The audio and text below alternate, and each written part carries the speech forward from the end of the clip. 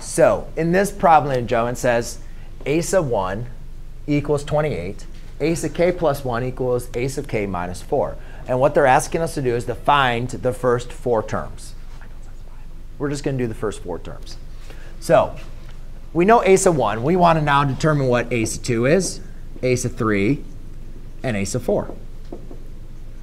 So if we know a sub 1, right, 1 can represent our k. Remember recursive form, we're going to be plugging in our previous term into there. So let's plug in a sub 1. Let's plug in 1 in for here.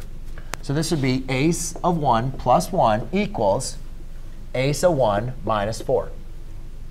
Do you guys see what I did? I plugged the 1 in for the k, because we know a sub 1. Now, do we know what a sub 1 is? It's 28, right? So therefore, a sub 1 plus 1 is a sub 2. So what that means is a sub 2 equals a sub 1, which is 28, minus 4, which equals 24. So now we know a sub 2 equals 24. Now, now let's put a 2 in for the k. So a sub 2 plus 1 equals a sub 2 minus 4.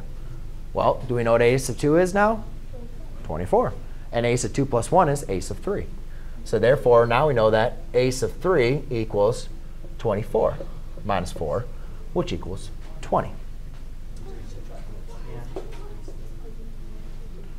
So you guys kind of see the pattern? So without even having to do the whole record, a sub 16 or a sub 4 is going to be 16. So there you go. That's recursive formula.